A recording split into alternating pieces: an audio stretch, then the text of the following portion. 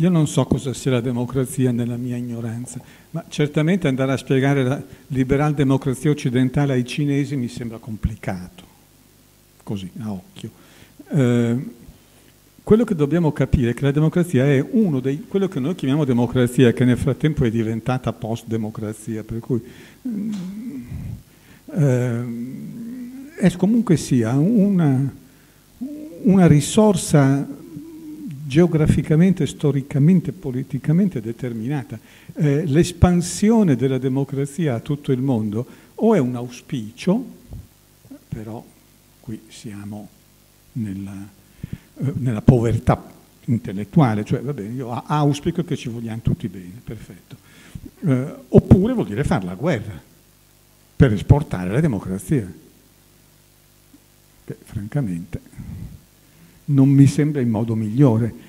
Certamente è stato fatto, io mi ricordo la Condoleezza Rice, Condoleezza Rice cioè segretario di Stato, cioè, mica, che aveva un dottorato in scienze politiche in California, che il cielo la perdoni, che, che ha scritto, ma sul Corriere della Sera, eh, dice, beh, ma abbiamo fatto diventare democratica la Germania, faremo diventare democratico anche l'Iraq che vuol dire la storia non esiste. No? Non esiste la storia. Eh, la Germania era democratica fino al 1933. L'Iraq giustamente non sa nemmeno che cosa sia la democrazia. Per cui se tu puoi bombardare l'Iraq fino a fargli mettere un buco al posto dell'Iraq, ma non troverai la democrazia. Non mi risulta che l'Iraq sia un paese democratico oggi, così a occhio. La Germania a occhio sì. Ecco. Perché la, la differenza non è di razza e di religione, è di storia. Ma se tu fai i dottorati di scienza politica in California non te lo dicono. Tutto lì. E con questo ho risposto. Quanto al cinismo, io non so che cosa voglia dire, forse non lo sa neanche lei, eh, ma va bene lo stesso. Mm, quello che è successo nell'89-91 è stato interpretato come la vittoria della democrazia, ma non è vero!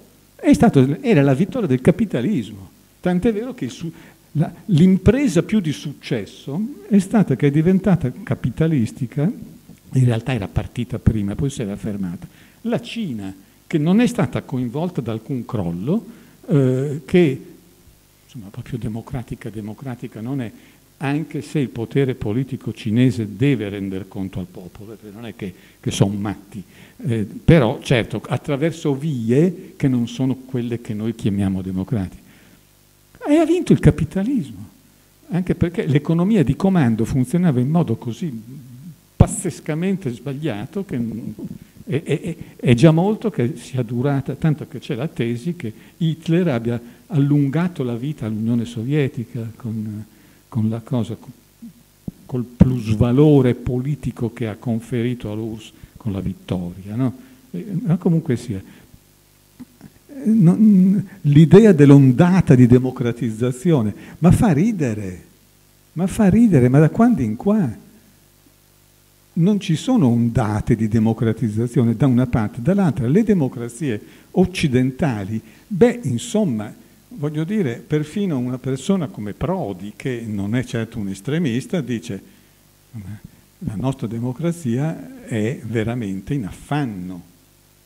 Eh, veramente in affanno. Ora, io non so, uno non pretende di vivere nell'Atene di Pericle, che poi chissà cos'era, ma certamente, certamente, anche solo nella mia breve vita, è cambiato qualcosa, ecco, è cambiato, posso dire di aver visto una restrizione degli ambiti di, delle libertà individuali, un impoverimento dell'ambito pubblico, una mh, mm, chiusura dello spirito, una, un, un conformismo crescente, un, uno sfilacciamento dello spirito pubblico, un crollo del legame sociale. Ma abbiamo, cioè, qui eh, usciranno cento libri sulla crisi della democrazia all'anno, va bene?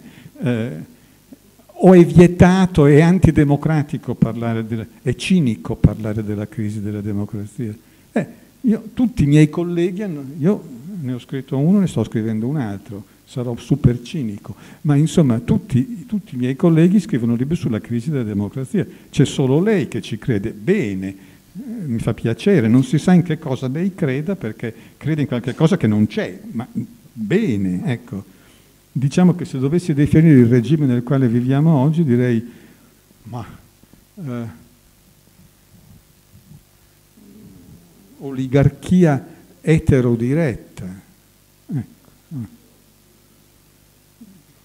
Con verniciatura di eh, qualche teorema democratico, verniciatura. Eh. Ma lasciamo perdere. Sì, quello, chi ha vinto nell'89 non è stata la democrazia, ma certo se uno vede i paesi dell'Europa orientale, ma anche lì eh, erano, è un episodio di minoranza quello, è un episodio di minoranza, a parte che alcuni non sono diventati poi sto fiore di democrazia, cioè l'Ungheria da cui è partito la, il, il voto con i piedi nell'estate del 1989 non è che sia diventato sto posto, sto fiore di democrazia è che è semplicemente crollato un regime che era miracoloso, stava in piedi per miracolo. Ecco, tutto lì. Eh, poi noi possiamo dire che era la fine della storia, possiamo dire quel che ci pare, tanto le cose vanno avanti lo stesso. Come diceva uno, la verità si vendica.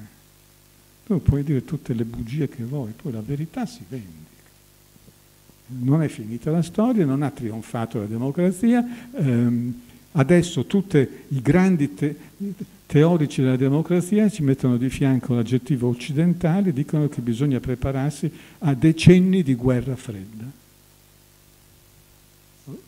Tutto questo pacifismo non lo vedo. Democrazia uguale pace, mi sa che non è vero.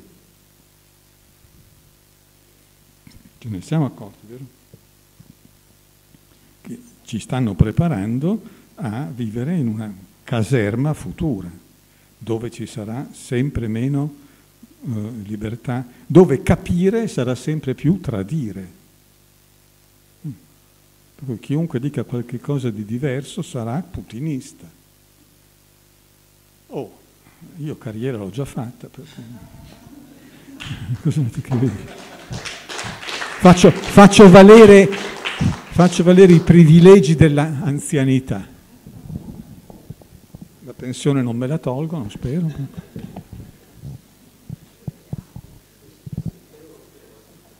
Bene, allora, se non ci sono altre questioni, la terza e ultima fase sarà il giorno, credo, 4 aprile, in cui verrà presentata una cosa nuova cioè la prima traduzione italiana integrale del De Jure Belli Ac Pacis di Grozio, che era l'ultimo grande testo della modernità che mancava nella lingua italiana,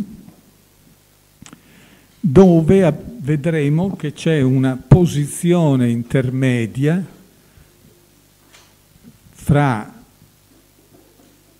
la posizione di Vittoria che è oggettiva, la posizione di Hobbes che è soggettiva, e c'è questa posizione intermedia che tanto piacque a tanti fin da subito, che Grozio diventò un veicolo di diffusione de, di, una, di un tipo di diritto naturale sostanzialmente soggettivo, anche se lui si sforza di dirlo in modo un po' diverso, ma è sostanzialmente quello, fin da subito elevato da Pufendorf a maestro del diritto internazionale e eh, beniamino della cultura eh, politologica e giuridico-internazionalistica anglosassone.